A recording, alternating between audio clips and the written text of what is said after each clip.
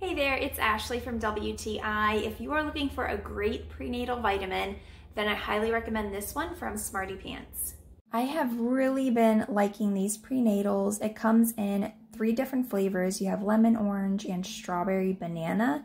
The consistency is like a gummy. They are very chewy but soft, and I would highly recommend them. You do take four gummies a day. You can take it with or without food. I just take it first thing in the morning.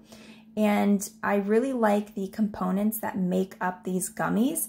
You have all of the essential nutrients that you need, but also it has added benefits like omegas. It has both the DHA and the EPA essential fatty acids, folate, choline, iodine. I've tried other SmartyPants vitamins and I always love them whether it is for children or adults, they have a really great product.